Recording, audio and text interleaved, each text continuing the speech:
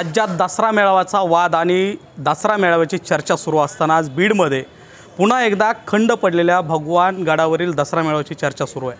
दसरा मेळावा कृती समितीने भगवान गडावर दसरा मेळावा होणारच असा निर्धार केला आहे आणि त्या कृती समितीचे जे सदस्य आहेत त्यांच्यासोबत आपण बातचीत करणार आहोत. नेमकं खंड पडलेला हा दसरा मेळावा कसा असणार आहे? कोणत्या ठिकाणी उपस्थित असणार आहे? आणि कसा काय स्वरूप असणार आहे त्याचं जाणून घेऊ आपण. काय सांगाल? पुन्हा एकदा दसरा मेळावा होतो भगवान गडावरती. काय स्वरूप असणार आहे? का काय श्रीक्षेत्र भगवानगडावर गेल्या अनेक वर्षापासून शस्त्रपूजनापासून सोनं लुटण्याच्या विचार ऐकण्याच्या काही परंपरा आहेत. त्या परंपरेमध्ये साधारण दोन हजार पंधरानंतर थोडासा बदल झालेला आहे. दसऱ्याची परंपरा कायम सुरूच होती. फक्त त्याच्या सिस्टीममध्ये चेंज झालेला आहे. आणि त्याच्यातली सर्वात महत्त्वाची गोष्ट अशी होती ती म्हणजे तिथे जी भाषणं होत होती त्या भाषणातून वेगवेगळ्या नेत्यांची विचार ऐकायला भेटत होती ते बंद झालेले आहेत. मात्र आत्ता असा आमचा निर्णय झालेला आहे की या सगळ्या वादामध्ये ऊसतोड कामगार जो होता भगवानगडाचा खरा भक्त तर ऊसतोड कामगारच आहे. कष्टकरी कामगार आणि ऊसतोड कामगारांच्या जीवावरच खरं म्हणजे भगवानगडाचा जो विकास झाला तो त्याच्यामुळं झाला. आणि त्याच लोकाला येण्याची जी गेली काही वर्ष झालं तिथं उगंच असं मनामध्ये हे झालं की बा आता कसं जावं? तिथं काय करावं? आणि म्हणून ते आपल्या सोयीनी जात होते आणि येत होते. आम्ही फक्त एवढंच करतोय की दिवसभरात आपल्या सोयीनी जाणाऱ्या भक्तांना आम्ही एकत्रित करतोय आणि एकत्र मिळून आपण सगळे जाऊया आणि पायथ्यापासून माथ्यापर्यंत तिथे जाऊन म- समाधीचं दर्शन घेऊयात आणि पुन्हा एकदा आचार्य विचाराचं सोनं तिथे आपल्याला मिळेल तिथे आपल्याला मार्गदर्शन मिळेल आपल्याला तिथून संदेश जाईल काही असा संदेश घेण्याच्या निमित्तानं आम्ही ही परंपरा पुन्हा सुरू. काय सांगाल? हा मेळावा करत घेत आहे काय वेगळं पण असणार आहे आणि याच्या अगोदर काय राजकीय रंग त्या ठिकाणी आला होता का? त्यामुळं हा मेळावा जो पहिला होत होता तो त्या ठिकाणी खंड पडलेला आहे काय सांगाल? महंत नामदेव शास्त्रीजींनी गडावरती राजकीय भाषणं होणार नाहीत ही भूमिका घेतली. आणि त्या भूमिकेनंतर गडावरच्या मेळाव्यामध्ये होणारी राजकीय भाषणं बंद झाली. गडावर न घेता तुम्ही गडाच्या पायथ्याला घेतला तरी मला अडचण नाही अशा प्रकारची त्यावेळेसची शास्त्रीजींची इच्छा होती.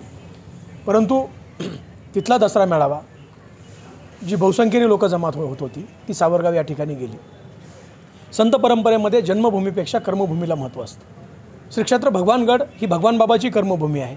हे आमचं श्रद्धास्थान आहे.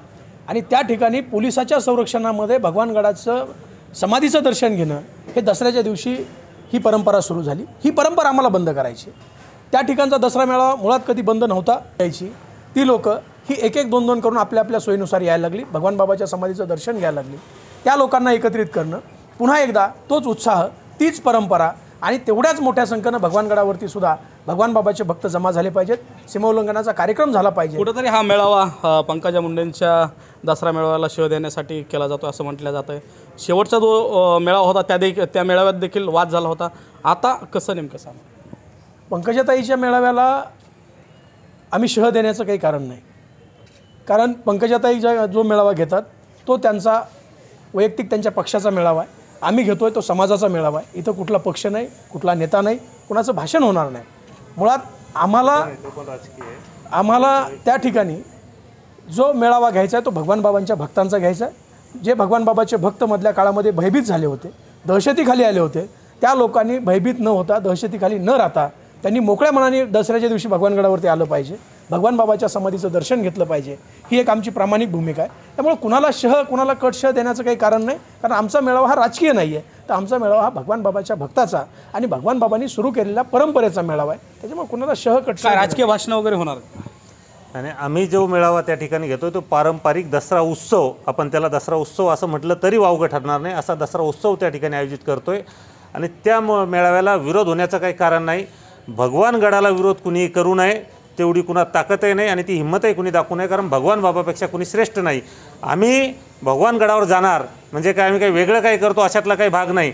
आम्ही काही राजकीय काही वेगळंपण आणतो अशातलाही भाग नाही. आणि आम्ही ताईला विरोध करतो अशातलाही कुणी काही समजू नये. पण आम्ही आमच्या भावनेतून श्रद्धेतून त्या ठिकाणी भगवान गडावर जातोय आणि भगवान बाबाच्या सर्व भक्तांनी त्या ठिकाणी आलं पाहिजे. एवढीच आम्ही त्या ठिकाणी सर्वांना विनंती करतो. मात्र आपापल्या राजकीय फायद्यासाठी अनेक ठिकाणी राज्यात त्याला कसा तरी विरोध कसा करता येईल आम्ही कसे ताईच्या जवळचे असं कसं दाखवता येईल? यासाठी ही सगळी चर्चा घडून आणल्या जाते. आम्ही मात्र फक्त भगवान भक्त या विचारानं त्या ठिकाणी जाणार आहोत. त्यामुळं कुणी याला राजकीय मेळावा समजू नये कुणी राजकीय भाषण त्या ठिकाणी करणार नाही. फक्त आणि फक्त भगवान बाबाचा जो काही दसरा उत्सव त्या ठिकाणी होता पारंपरिक तोच दसरा उत्सव त्या ठिकाणी करतो आहे आणि आम्ही कुणाला म्हटलं नाही की आम्ही तुम्ही भगवान गडावर आल्यावर इतरत्र जाऊ नका असंही आम्ही कधी म्हटलं नाही. एकोणीसशे पंच्याण्णवपासून दसरा मेळाव्याला मी स्वतः जात आलो कार्यकर्त्यासह जात आलो. त्यामुळं कुणी याच्यात राजकीय ठिणगी टाकू नये आपापली पोळी भाजू नये एवढंच मी आपल्या माध्यमातून सगळ्यांना सांगू इच्छितो. नक्कीच. काय स्वरूप असणार आहे? कोण कोण नेते त्या ठिकाणी येणार आहेत? आणि सकाळपासूनचा कार्यक्रम कसा असणार नेमका? असं आम्ही कोणत्या नेत्याला निमंत्रण दिलेलं नाही. परंतु आपल्या माध्यमातून जे जे भगवान बाबाला मानणारे नेते आहेत त्यांनी सगळ्यांनी आलं पाहिजे. भगवान बाबाच्या समाधीला मुंडेसाहेबसुद्धा म्हणायचे भगवानगड हा माझं सर्वस्व आहे. भगवानगड माझी आई आहे. भगवानगड माझा बाप आहे. हे मुंडेसाहेबाचे उद्गार आहेत. आणि एवढ्या मोठ्या माणसांनी जर भगवानगडाबद्दल जर एवढा आदर असेल आम्हाला आदर असला पाहिजे. आणि तो ती जी परंपरा आहे भगवान बाबाची जी परंपरा आहे की गेली अनेक जवळपास साठ सत्तर वर्षापासून जी परंपरा आहे ती परंपरा एकमेकाच्या काही घटनेमुळं मध्ये खंडित झाली. आम्ही दोन अडीच वर्षापूर्वी दोन तीन वर्षापूर्वी करणार होतो. पण मध्ये कोरोना आला. पण त्या कोरोनाच्या कारणा कारणामुळे आम्ही ती केली नाही. परंतु येत्या पाच तारखेला दसरा मेळाव्याच्या माध्यमातून आम्ही एक सामूहिक कुठं सभा नाही कोणता नेता नाही कोणता पुढारी नाही कोणता पक्ष नाही हे सगळं अशा पद्धतीचा हा दसरा मेळावा. भगवान बाबाला आवडणारा दसरा मेळावा. भगवान बाबाच्या विचाराचा दसरा मेळावा. ज्या देशामध्ये जी भगवान भगवान बाबांनी क्रांती केली त्या क्रांतीचा मेळावा आम्ही पाच तारखेपासून आपण दसरा म्हटलं की आपट्याची पानं देतो मात्र विचाराचं सोनं देखील दसरा मेळाव्याच्या गडावरून द भगवान गडावरून त्या ठिकाणी दिलं जात होतं. यंदा नेमकं विचाराचं सोनं कोण वाटणार आहे? काय? नाही यावेळी विचाराचं सोनं भगवान बाबाच्या समाधीला ज्यावेळी डोकं टेकतो ना मी त्यावेळी सगळे विचार आमच्या डोक्यात येऊन जातात. त्यामुळे विचार फक्त आम्ही आमच्यातला आमच्यात विचार करू. समाधीचं डोकं टेकलं आणि आम्ही ज्यावेळी भगवानगडावर सगळे जमू ना तिथे त्यावेळी विचार आमचे ऑटोमॅटिक मिळणार. आणि भगवान बाबा ऑटोमॅटिक विचार देतात की तुम्ही काय वागलं पाहिजे तुम्ही कसं केलं पाहिजे तुमची संस्कृती कशी असली पाहिजे या महाराष्ट्रामध्ये भगवान बाबाची ताकद ही कोणी अडू शकत नाही कोणी थांबू शकत नाही.